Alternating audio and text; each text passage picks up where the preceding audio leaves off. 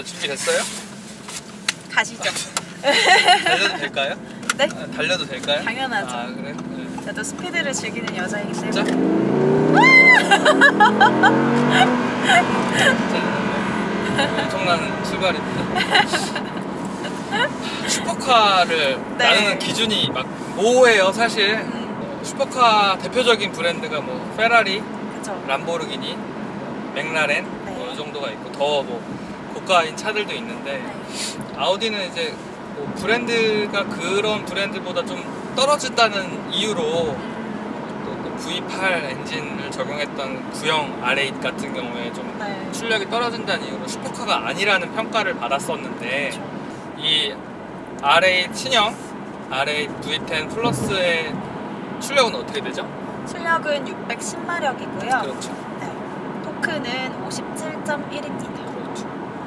출력과 마력 모두 출중한 수치고 슈퍼카 다운 그런 성능 수치를 보여주고 있다. 네. 특히나 이 5.2L 5200cc 엔진이 적용이 됐는데 이 엔진이 자연흡기 엔진이란 말이에요. 그쵸. 요즘처럼 뭐 터보 차저, 슈퍼 차저가 음. 과급기가 적용되지 않고 네. 자연흡기 엔진인데 자연흡기 엔진의 특징이 뭐가 있어요? 마력이 높잖아요. 고마력이잖아요. 네. 고마력이고 그다음에 토크는 조금 터보 차저나 슈퍼 차저에 음. 비해서 좀 떨어지죠. 네. 그래서 고마력이고 확실하게 말씀드릴 수 있는 거는 고회전형 엔진이 적용됐다. 음. 자연흡기이기 때문에 그러니까 막 지금 뭐 8,500 RPM부터 red zone이 시작이 됐는데 그 레드존에 닿을 때까지 아주 힘차게 엔진을 회전을 시킨다. 그쵸. 네, 그런 부분을 볼 수가 있습니다. 출력은 진짜 어마어마하고요. 결론부터 말씀을 드리면 이 R8을 이런 지금 일반적인 공공 도로에서 네. 모든 성능을 끌어내서 타기는 쉽지가 않아요. 음. 너무 출력이 강력하기 때문에. 네. 네. 어, 2세대 모델로 오면서 더 부드러워졌어요. 음. 그냥 일반적인 모드에서는 네. drive select 모드를 누르면 첫 번째로 있는 부분이 승차감인데 한글로 표현한 부분도 되게 재미있어요. 승차감, 뭐 자동, 다이나믹, 네. 개별 설정이 돼 있는데 영어로는 comfort라고 중간에 나오거든요. 네, 그래서 아주 그 말 그대로 승차감이 좋아요. 그래서 슈퍼카들은 사실 승차감이 좋지 않거든요. 상당히 불편하고 또 빠르게 달리기 위해서 아주 하드한 편인데 맞아요, 맞아요. 음, 뭐 뒤에도 설명하겠지만 그 MRC 서스펜션 댐퍼가 적, 적용 적, 적용이 되면서 아주 편안한 승차감을 주고 있다. 현실적인 차들 요즘 많이 탔는데 그죠? 갑자기 비현실적인 비현실적인 차들이 아, 근데 느낌이 진짜로 저희 그 음, 제교 F타입 그 SBL도 탔었잖아요. 그렇죠. 네. 근데 그때는 딱 탔을 때, 어, 막 약간 어, 스포츠 빨리 달려야 되는 그런 음, 승차감이었다면, 네. 그러니까 정말 아까 hard한 그 느낌이 딱 음, 바로 와닿았다면, 네, 네. 근데 이거는 지금 모드 때문인지 음. 굉장히 편하네요. 음, 그렇죠. 모드만 모드마다의 간극이 되게 커요. 음. 뭐 다이나믹 모드 혹은 뭐 이렇게 체커기 버튼을 누르면은 퍼포먼스 모드로 이렇게 바뀌게. 되거든요. 벌써 엔진음이 바, 바뀌 었잖아요, 그죠? 이런 것처럼 모드만의 간, 간격이 크고 그래서 이 차 한 대로 슈퍼카처럼 탈, 타기도 하고 뭐 약간 세단은 아니더라도 그냥 좀 편안하고 빠른 그런 쿠페 스포츠 네. 쿠페를 타는 느낌 음. 그런 느낌도 좀 살아 있습니다. 그런 부분 참이 차만의 그 R8만의 매력이라고 볼 수가 있어요. 맥라렌이나 페라리는 뭐 비슷한 출력을 발휘하는 차들은 이렇지 않고 특히 람보르기니 같은 경우에는 진짜 뭐 같은 뼈대를 이용해서 차를 만들었다지만 성향 자체가 완전히 다르거든요. 네. 그래서 볼 수가 있겠습니다. 이 R8은 참 그래서 결론을 다시 한 번 말씀드리면 daily 스포 daily 슈퍼카다. 매일매일 탈 수 있는 슈퍼카다. steering 반응은 지금 상당히 가벼워요. 네. 유수정 기자도 아까 돌려봤죠? 그쵸. 네. 보기에는 그래도 좀 묵직해 그쵸. 보이는데, 네. 가벼운 편이고 어, 조금 더 말씀드리면 여성분들이 운전하기에도 전혀 부담스럽지 그쵸. 않을 정도의 steering 반응이고 네. 그리고 그렇다고 해서 뭐 그런 조작감이 불안정하거나 그렇지 않고요. 사실 조작 이 steering 이 무게감이 무조건 무겁다고 해서 안정적이고 맞아요. 가볍다고 해서 불안정적이고 음. 그러진 않은데 아주 잘 됐고 굉장히 적절하게 세팅이 돼야지 그렇죠. 그런 느낌들이 다가오잖아요. 잘 됐고요. 그리고 그 근데 이제 한 가지 좀 daily 슈퍼카의 기준이 될 수 있었던 또 이유 중에 drive select 버튼을 눌러서 뭐 dynamic이라든지 퍼포먼스 버, 버전으로 이렇게 운전을 할 때도 이 steering 크게 무거워지지는 않더라고요. 음. 그래서 이건 거의 좀 일관적이다. 약간의 무게감은 좀 더 있지만 그래도 네. 크게 바뀐 면은 없다. 음. 그리고 또 특성 한 가지는 아무래도 상시 사륜 구동 방식이 적용됐기 때문에 네. 후륜 구동처럼 이렇게 날카롭고 아주 예리한 이런 steering 반응은 아무래도 약간은 떨어져요. 음. 조금 감이 그런 감이 살짝 없군요. 살짝 떨어지긴 하는데 그래도 저속 구간에서는 좀 그런 약간 약간 둔탁하지만 고속 식, 속도가 올라가면 네. 올라갈수록 더욱 더 예리해져 예리해지는 그런 느낌을 줘서 더욱 더 안정적이다. 또 그쵸. 고속으로 갔을 때 상당히 안정적이고 좋다라고 볼 수가 있겠습니다. 우리 윤 기자가 계속 서- 승차감이 좋다 했잖아요. 네. 그게 사실 서스펜션 때문이에요. 음. 네, 서스펜션 때문이고 이 서스펜션이 지금 뭐 100분의 1초마다 노면의 그런 어, 감지를 감지를 해서 좀이 피드백을 준다는 MRC 서스펜션이 음. 적용이 됐죠. 더 맞아요. 댐퍼가. 그래서 그래서 이렇게 편안한 승차감을 주는 거고 이게 편안한 승차감을 주다가도 다이나믹 모드나 뭐 퍼포먼스 모드로 변환됐을 때는 네. 아주 딱딱해지죠. 그래서 스포츠 주행을 할 수 있는 여건을 마련해 주는데 음. 서스펜션 부분은 참 좋다. 그다음에 저는 이게 미드십 엔진이어서 이게 뒤로 젖히지는 않잖아요. 그렇- 어, 허리 그, 등받이요? 네, 네네네. 등받이가 젖히지는 네. 않는데 그래도 지금 앉아서 음, 이렇게 딱 착자감 같은 거나 크게 뭐 불편하지 각도, 네, 않아요. 각도나 크게 불편하지가 않아요. 어, 레이서를 해야 되나? 자네, 자네 이게 버킷 거의 버킷 시트인데 이게 되게 몸을 딱 잡아주잖아요. 네, 그래서, 자리 바꾸시죠, 선배님. 그래서 버킷 시트라서 이게 지금 몸을 딱 잡아주고 음. 근데 조금 좀 어, 탄탄. 탄탄 어뭐 이렇게 치면 탄탄하게 느껴져요. 예. 근데 약간 좀 체구가 있으신 분들은 아. 불편할 수 있어요. 음. 저는 그래도 맞아. 뭐 다이어트에 성공해가지고 예. 저는 예. 굉장히 아담하고 네. 작고 저는 그런 여성이기 괜찮은데 때문에 한 한 85kg 이상 되시는 분들은 네. 몸무게 몸무게 말하시면 너무 정확하게 얘기했나? 85kg 정도 넘으시는 네. 분들은 뭐 아니면 네. 뭐또 체구가 더 좋으신 분들은 저 조금 불편하실 수 있을 것 음. 같아요. 승차감 모드는 충분히 이제 네. 경험해봤으니까 제가 다이나믹 모드로 한번 달려볼게요. 오, 벌써 RPM이 올라가. RPM이 치솟죠. 3000 RPM을 올라가면서 또 변속기 모드는 S 모드로 D 음. 모드에서 S 모드로 네. 변환을 시켜주면서 빠르게 달릴 수 있는 그런 여건을 조성을 하, 하, 하거든요. 네. 근데 뭐 지금 거의 뭐 소리부터가 음, 배기음과 엔진이 돌아가는 이런 네. 소리들이 조화롭게 이루어지면서 그렇죠. 이미 그 청각적인 자극이 달라지잖아요. 그러니까 이미 다른 차를 타는 듯한 느낌을 우리가 받게 되는 거예요. 그렇죠. 60km 정도의 좀 고단을 달리고 있는데 네. 이 패들 시프트를 이용해서 제가 단수를 낮춰보도록 하겠습니다. 네. 저 3단까지 낮췄고 2단까지도 50km, 60km거든요. 어, 1단으로 내려가진 않네요. 그러면서 60km에서도 지금 변속을 시키지 않고 점점 더 제가 속도를 올려서 레드존에 닿았죠? 그렇죠. 레드존에 닿았는데도 보세요. 지금 막 떨면서도 지금 변속을 어. 업시프트를 지가 안 시키니까 네네네. 막, 막 떨다, 떨면서도 그 upshift를 안 해요, 결국에는. 네. 지켜내줘요. 네. 그것은 이 R8이라는 차가 정말 race car 못지 않은 차인데, 레이스, 실제로 one-make 레이스도 R8으로 타고 하죠. 네. 네. 근데 거의 race car 수준의 차를 만들었기 때문에, 레이스에서 고 RPM으로 음. 운전을 하면서 정말 치열하게 싸움을 할 때 그때 이제 좀 더 많은 파워를 치고 나갈 수 있도록 세팅이 되었다. 그게 race car 양산카에도 네. 적용이 되었다. 그렇기 때문에 이 차는 진짜 진정한 슈퍼카 반열에 올라갈 수 있다고 생각을 해요. 다이나믹 모드니까 완전 다르죠, 그죠? 네. 도로 여건상 뭐 빨리 달릴 수는 없는데 조금 밟아볼까요? 그럴까요? 낮추고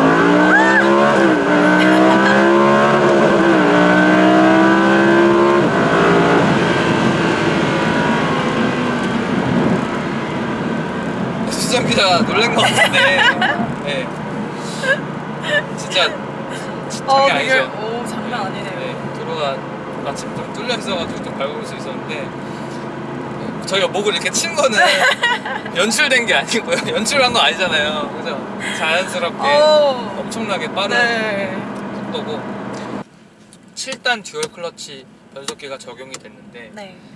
변속의 속도 진짜 어마무시할 정도로 빠르고요 음. 네, 어마무시할 정도로 빠르고 좀 전에도 보여드렸지만 이 paddle shift를 이용해서 제가 수동으로 변속을 해도 원하는 그런 영향을 못하는 경우가 거의 없거든요. 음. 그러니까 출력을 정말 100% 출력을 쥐어 짜낼 수 있도록 예, 그 여건을 마련해 주는데 네.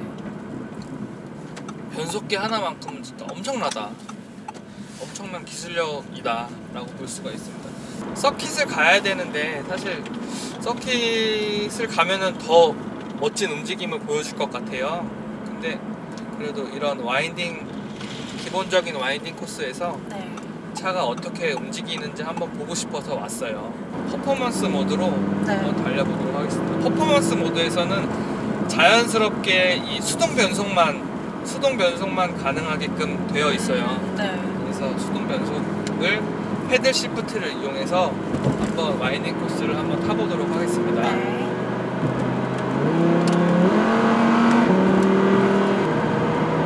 차를 한 개까지 끝까지 윤수영 기자가 아직 못 타봤기 때문에 차가 좀 불안하다고 느낄 수 있는데 제가 좀 많이 타봤거든요. 네. 근데 아주 안정적인 움직임을 보여주고요. 어, 와인딩 코스에 지금 들어섰는데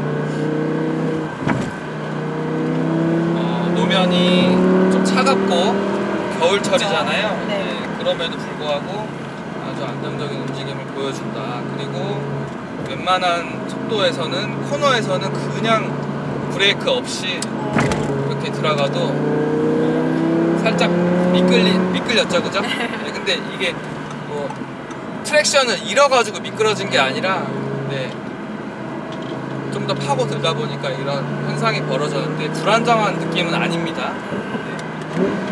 그래서 웬만한 속도에서는 브레이크 없이 아주 내가 원하는 어, 라인을 그려 나가면서 운전이 가능하다.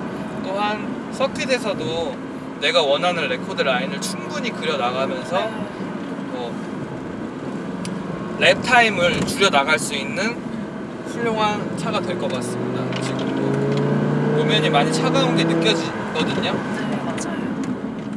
브레이크 성능 잠깐 오. 봤죠? 네. 꽂히죠, 굉장히 그죠? 네. 제동력이 제동력이 그냥 오. 일반적인 그냥 오, 오. 일반적인 제동하고는 달라요. 세라믹 브레이크가 적용이 됐는데 네.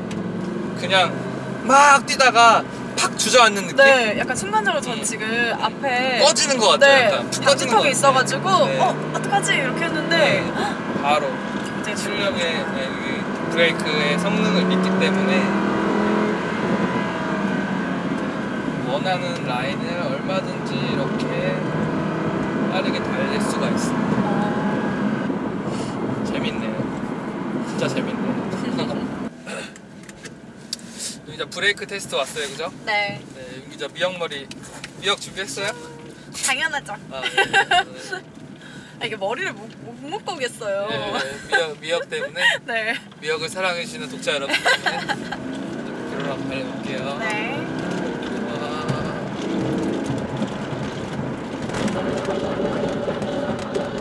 아, 어, 한 번만 더 해볼까요? 되게 잘 지킨다. 이게 익숙해지면은 네. 그 원하는 만큼 원하는 데 위치에 진짜 뭐 주차한 것처럼 쓸 수 있을 것 같아. 맞아요.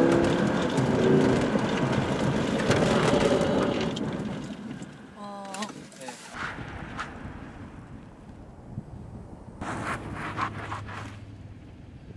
아, 이게 정말로 거의 뭐 이거 완전 이 부분은 이 주행 진짜 칭찬해야 음, 돼요. 브레이크는 뭐 평가할 필요도 없이 네. 아주 뛰어난 수준의 뛰어난 수준의 브레이크 이건 성능을 말이 보였다. 필요 없는 응, 말이 필요 브레이크 없고 성능이에요, 아주 정말. 뛰어난 성능을 보여주고 음. 있습니다. 멋지네요. 따봉 따봉 따봉 따봉 따봉. 따따봉 따따봉인 것 같습니다. 네. R8을 총평을 한번 해볼까요? 네. 어, 사실 이 일반적인 도로에서 R8을 평가하기는 쉽지가 않습니다. 네. 이 차의 한계를 솔직히 말해서 모르겠어요. 음. 이차 달릴 때 진짜 엄청나게 잘 달리고 그리고 코너에서의 그런 날카로운 음. 성능 그리고 뭐 쿼트로 시스템의 그런 신뢰감 이런 것 때문에 뭐 한계를 잘 모르겠어요. 근데 음. 아무래도 솔직히 노면이 너무 차가워서 겨울철에는 안전운전 하셔야 되는 거 아시죠? 네. 노면이 너무 차가워서 솔직히 아주 공격적인 운전은 못했어요. 음. 근데 뭐 한계치를 저희 알 수가 없을 정도로 음. 높은 한계치를 보여줬고 뭐 초, 초반에도 말씀드렸지만 진짜 daily 스- 슈퍼카, daily 슈퍼카에 정말 걸맞는 차다라고 네. 볼 수가 있을 것 같아요. 물론 저도 이제 이렇게 서킷 주행 같은 거를 못 해봤기 때문에 그냥 이제 느낌 정도로 말씀드리면 어 약간 뭐 여성 운전자분이 계시다면 이 음. 차를 모는 여성 운전자분이라면 굉장히 좋은 음. 차량일 것 같아요. 음. 그러니까 성능도 굉장히 좋고 부드럽고 잘 나가고 이렇기 때문에 좋은데 어 글쎄요 약간 운전을 더 즐기시는 분들한테는 좀 더 퓨어한 스포츠카가 필요하지 않나? 네. 어, 알겠습니다. 네. 네. 그, 네 이게 지금 저희가 정말 선배님 말씀대로 음. 한계치까지 달려보지 못했잖아요. 네. 그래서 아마 오늘 주행에서는 제가 이렇게 느꼈을 거 느꼈던 것 같아요. 자네 레이서 해볼 생각 없나? 네. 가시죠. 네. 그래서 음,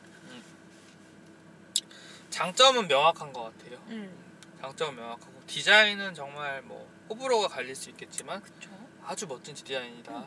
저는 개인적으로는 R R8 디자인 두 개 다 마음에 드는 것 같아요. 음. 두개 다 마음에 들고 그리고 또 장점으로는 최신 차잖아요. 그렇죠. 최신의 그런 인포테인먼트 시스템이라든지 아니면 운전자 중심의 모든 설계가 이 R8 one-make 레이스가 있는 것처럼 네. race car race car임에도 불구하고 그런 최신의 그런 infotainment라든지 모든 걸 즐길 수 있는 음. 여건이 됐다는 네. 거. 뭐 너무 좋죠. 진짜 음. 완성도도 참 높은 것 같고 그렇죠. winding 코스에서 주행을 했는데 음. 아주 안정적인 움직임을 보여주고 믿음을 주고 또 네. 브레이크나 서스펜션이나 모든 부분이 거의 조화롭게 다 잘 됐지만 음. 어, 윤 기자가 얘기한 것처럼 어떻게 보면 pure한 스포츠카, 퓨- pure한 스- 슈퍼카 느낌은 조금 희석됐을 수 있다고 생각해요. 음. 그래서 좀 더 날래고 좀 더 순수한 그런 느낌을 네. 주지는 않았던 것 같아요. 그런 차종은 또 따로 있죠. 그렇죠. 네, 그런 차종들은 따로 있는데 네, 그런 부분은 아쉽다. 그렇지만 뭐 대부분 만인을 위한 슈퍼카다라고는 음. 표현할 수 있을 것 같아요. 그래도 R8이 이렇게 새로 출시돼가지고 저희 카이주에서 한번 만나봤고요. 네. 다음번에는 서킷에서 음, 꼭 한번 다시 한번 타보고 싶어요. R8은 한번 우리 뭐 기획을 해가지고 정말. 서킷에서 한번 다시 타볼 수 있도록 하는 게 좋을 것 같아요. 네. 수업 받아가지고 저도 할 거예요. 독자분들 감사하고요. 음. 저희 영상 많이 봐주시는데 네. 어, 댓글도 많이 달아주시고 또 추운 겨울날 열심히 하고 있습니다. 네, 감기 조심하시고 네. 저희 카이주 홈페이지에도 좋은 내용 많으니까 음. 앞으로 많이 와주세요. 네. 네. 많은 사랑 부탁드리겠습니다. 감사합니다. 감사합니다.